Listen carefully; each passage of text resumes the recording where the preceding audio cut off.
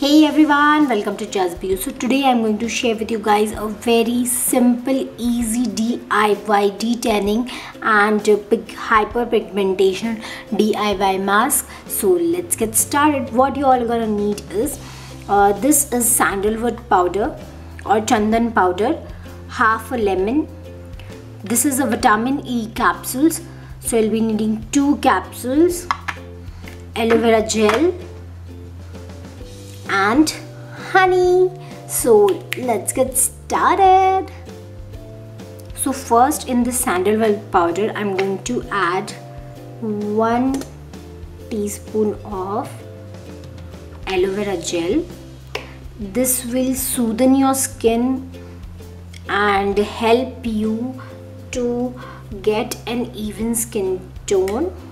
Next i'm going to next i'm going to add this one tablespoon one sorry one teaspoon of honey. So this will moisturize your skin. And next I'm going to squeeze half a lemon in this.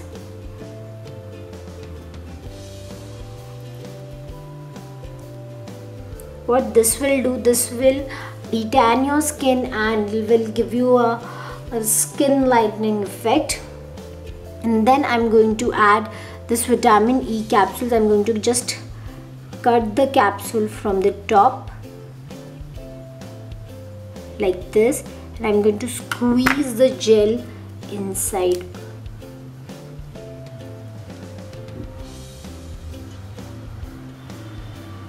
One more.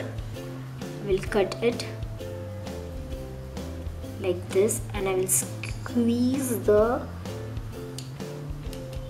and I will squeeze the and then just blend blend blend.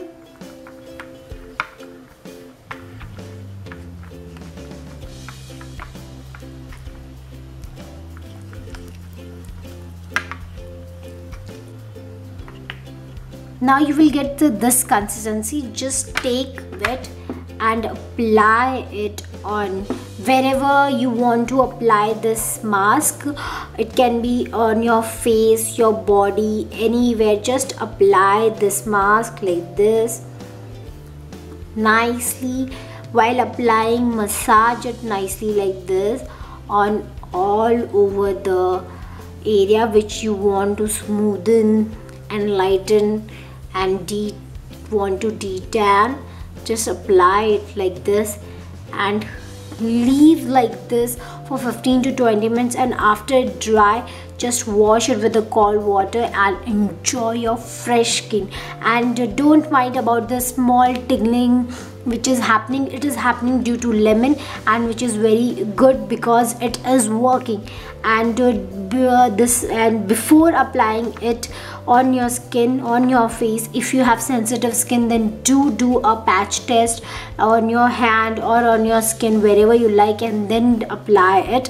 And i hope you guys enjoy this video. If you like this video then do hit the like button and subscribe to my channel for such more videos. I love you all. Bye